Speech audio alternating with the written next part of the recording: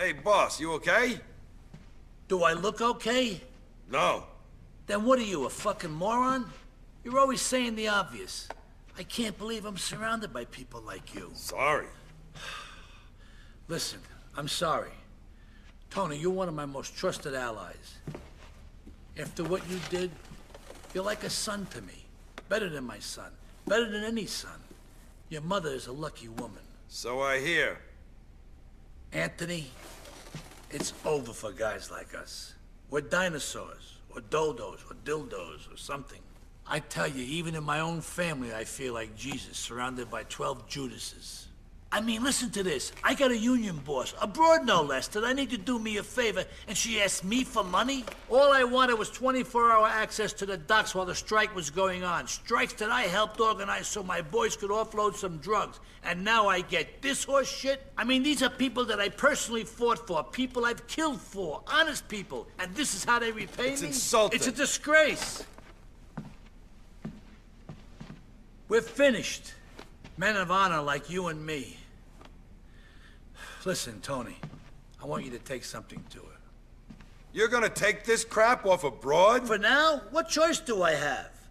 Look, go down there, pay her off, and tell her I'd like to have a word with her. Go.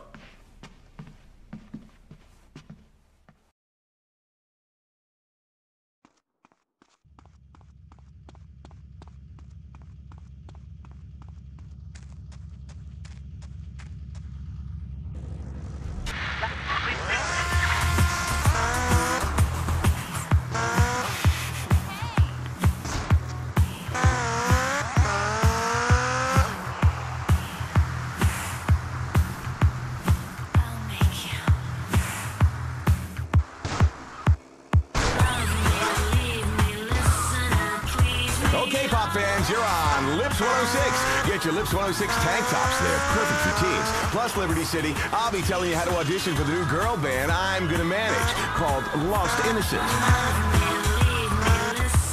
So, any potential starlets who wanna. Salvatore wants to talk. I'm not playing Salvatore's game. Thanks for the donation, kid. See you around.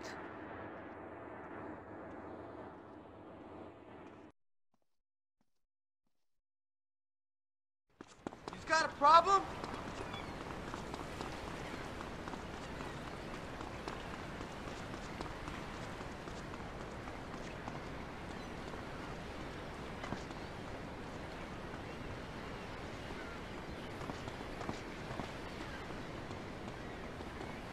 There he is!